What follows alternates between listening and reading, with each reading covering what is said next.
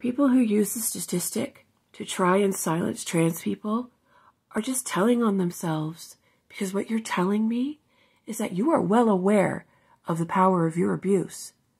You just don't care.